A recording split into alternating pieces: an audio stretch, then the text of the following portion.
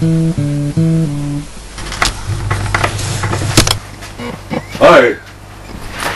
here's Eddy, and uh, I'm about to uh, record. Doesn't really matter to counts. Now, do you see these glasses? They are Calvin Klein sunglasses. 250 quid, I really lashed out there. I didn't give them away. In actual fact, these glasses cost more than all the gear I'm using at the moment, just about. Apart from the computer, of course. so, people have been saying that uh, my stuff is fake, so I am now going to record something live and uh, just the camera mic will pick it up.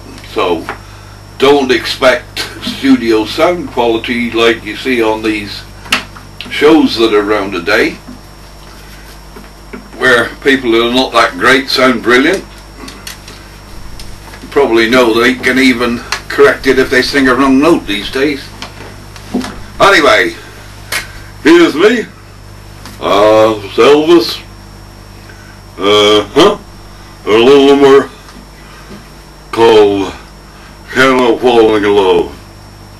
Goes a bit like this. I've uh, I've uh, arranged it and changed it so that it doesn't sound a bit like Elvis. Well, the voice may, but the song is a total arrangement of mine. Uh-huh. Thank you very much.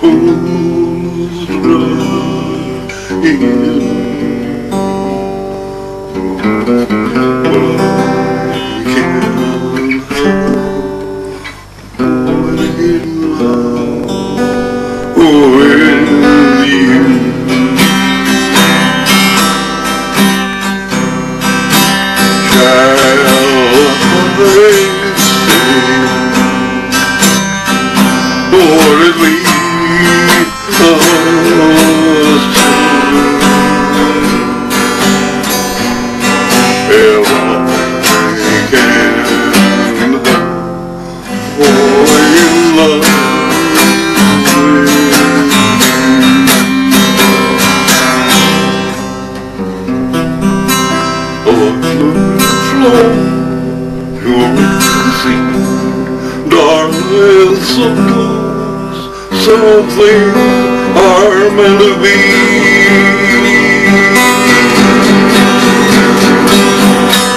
Take my hand, take my whole life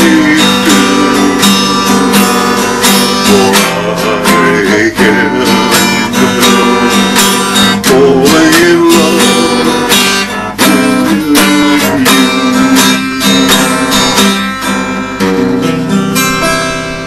A river flows surely to the sea, darling, so somewhere are meant to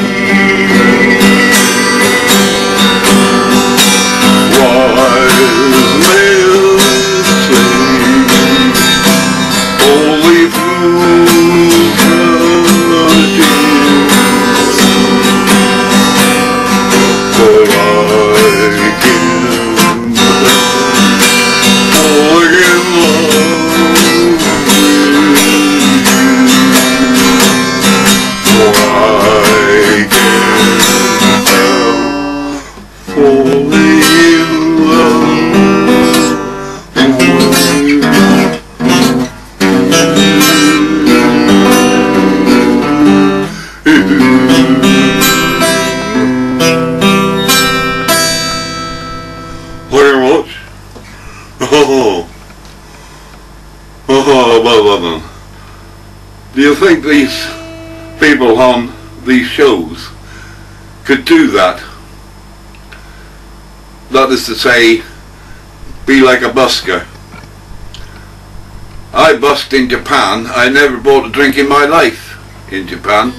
it was always given to me. I could walk into any bar in Osaka and pick up, take my guitar in and start singing and half of people in there stopped drinking and started to listen. They were absolutely nuts about Elvis there. And you won't believe this because you don't believe anything I say anyway, but I was offered a lot of money to jump ship in Osaka and become a Japanese Elvis recording star. Now the way Japan has gone since 1960, uh, it's quite likely I'd be a multi-millionaire now if I hadn't given it away. So, put that in your pipe and smoke it. I'm going to do, I'm 74 years old now. Uh, actually Elvis would have been 78. He was born in 1935 in January. And uh, he's dead. I know he's dead. I've spoken to him. So, put that in your pipe and smoke it. Uh, that's all.